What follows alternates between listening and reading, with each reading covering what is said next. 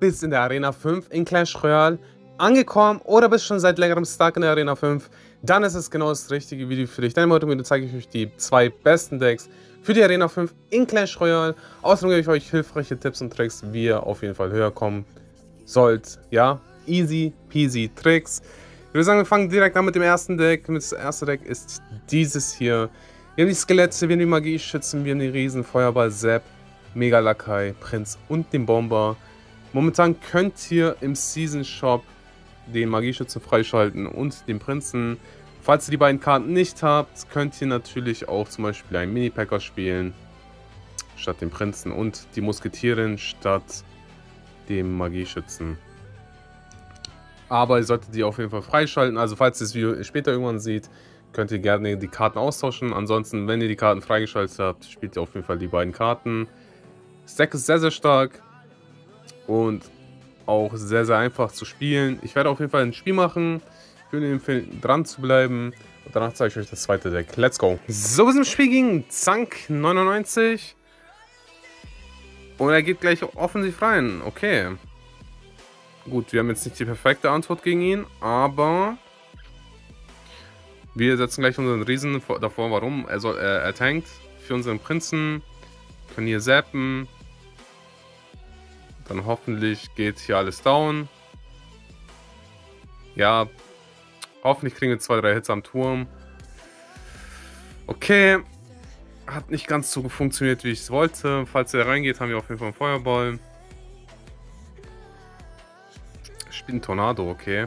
Ja, gegen solche Gegner spielt er auf jeden Fall nicht auf eurer Range. Bin gerade sogar extra auf einen anderen Account gegangen, der ein bisschen weniger Pokale hat, um einfach euch zu zeigen, ja, ihr sowas zu spielen habt. Aber wir kriegen gerade einen Gegner, der halt irgendwie schon ein Meta-Deck spielt.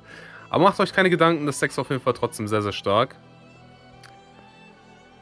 Seppen das, er muss jetzt noch Prinz spielen, falls nicht, connecten wir am Turm. Und wir kriegen sehr, sehr guten Damage.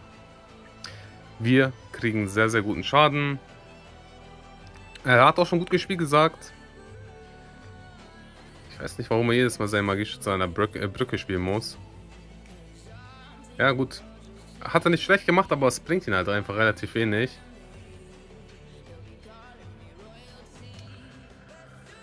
Oh, Worte können gar nicht beschreiben, wie nervig so äh, dieser, dieses Deck ist, was der Gegner spielt. Aber ihr werdet dagegen noch nicht spielen, deswegen macht euch keine Gedanken. Also, ihr werdet nicht gleich von solchen Leuten genervt. So. Evo Ritter sollte down gehen, geht down. Ich spiele jetzt einfach jedes Mal Feuerball auf seinen Magieschützen. Was anderes können wir eigentlich gar nicht machen. Setzen unseren Prinzen. Dann setzen wir den Bomber. Ich hoffe, das geht klar, das geht klar. Ja, setzen wir Magieschützen ein. Magieschütze ist gut. Er setzt hier einen schlechten Tornado. Ich weiß nicht, was er sich dabei denkt. Setzen jetzt einen Feuerball auf seinen zweiten Magieschützen. Sein Bombenturm geht down. Sein Magieschütze ist down. Er muss natürlich noch angreifen. Setzen jetzt auf jeden Fall unseren Prinzen defensiv. Und dann setzen wir an der Brücke unseren Bomber. Nicht, dass er seinen äh, Magieschützen an der Brücke spammt. Und wir verteidigen, sie haben sogar gewonnen. GG. Das Deck ist extrem stark und ihr werdet auch gegen solche Leute erstmal nicht spielen. Deswegen ist das Deck sogar umso besser. Wir kommen zum zweiten Deck. Let's go. Bei dem zweiten Deck handelt es sich dabei um dieses Schweinereiter-Deck. Wir haben den Schweinereiter, wir haben den Ritter, wir haben den Elektro-Spirit, Feuerball, Magieschützen. Magieschützen, wie eben auch gesagt, im Season Shop momentan bek äh, bekommt ihr ihn. Zap, Kanone und die Skelette.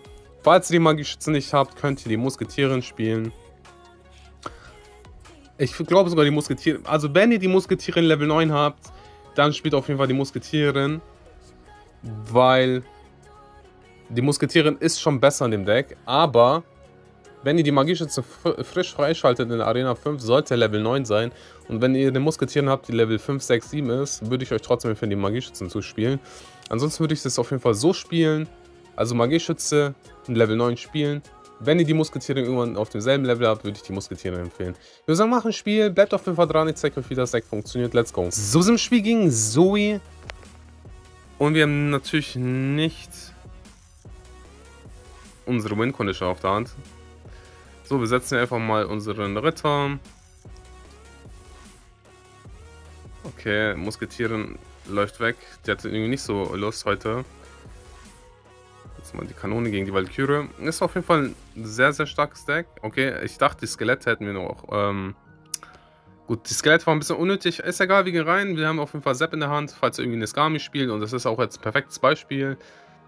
Sepp ist sehr, sehr stark gegen solche Karten wie Skelettarmee, Fledermäuse, Kobold-Gang, Schwerkobolde und was es alles noch da gibt. Ähm, deswegen haben wir auf jeden Fall Schwerkobolde im Deck. Und es ist auf jeden Fall ein sehr, sehr schneller Cycle. Also wir spielen hier wirklich gegen Leute mit allen Karten gerade. Deswegen nicht wundern, ihr werdet in Arena 5 nicht gegen solche Karten spielen. Da ist das Deck sogar noch viel besser. Aber es ist auch ein gutes Zeichen, dass man mit diesem Deck trotzdem auch gegen Leute spielen kann, die alle Karten haben. Das zeigt auch, dass diese Decks auch irgendwann, wenn ihr höher kommt, sogar noch besser sein werden.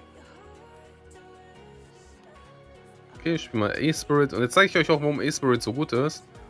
A-Spirit ist auch sehr, sehr gut gegen Karten wie Skelettarmee, Fledermäuse. Und deswegen habe ich A-Spirit im Deck.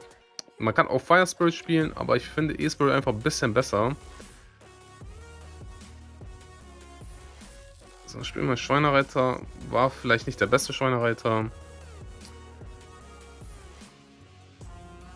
Weil er halt eben ja, sein Golden Knight Dash gemacht hat. Ich dachte, meine Musketiere überlebt vielleicht.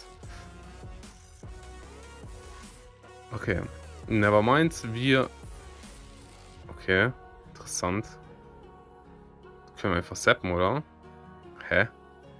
Sehr, sehr schlecht vom Gegner gespielt.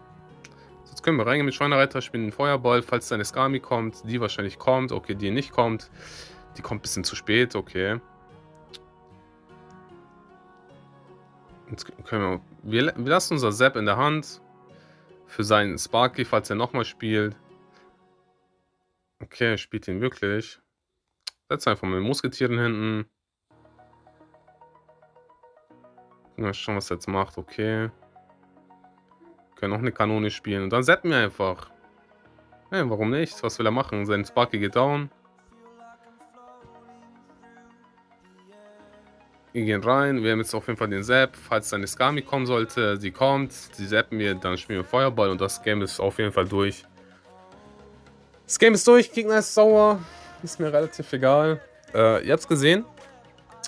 Wir gewinnen gegen Gegner mit Feuer, mit, mit Mega-Retzer, mit Feuerball mit was auch immer. So, ich kann euch vielleicht noch mal kurz was zum Deck sagen. Das ist das Deck. Ich bin gerade auf meinem anderen Account. Ich würde es, wie gesagt, ich würde es eher so spielen. Wie gesagt, wenn ihr die Magieschützen habt und er höher ist vom Level, spielt eher die Magieschützen. Wenn ihr die Musketiere, also wenn ihr das gleich vom gleichen Level habt, würde ich euch auf jeden Fall empfehlen, die Musketieren zu spielen. Weil sie einfach mehr Schaden macht und auch einfach, ja, zum Beispiel Feuerball überlebt, falls der Feuerball auf seinem Level ist. Weil der Gegner einen überlevelten Feuerball hat, es macht keinen Unterschied, aber die Musketiere macht einfach ein bisschen mehr Schaden. Das war's mit dem Video. Ich danke fürs Zuschauen. Lass auf jeden Fall ein Abo da. Ich werde die Tage auch Arena 6, das Arena 6 Deck hochladen und dann, ja, von Tag zu Tag werde ich bis zu Arena 17 alle Decks vorstellen. Deswegen lohnt es sich. Ich danke fürs Zuschauen. Macht's gut, Leute. Ciao.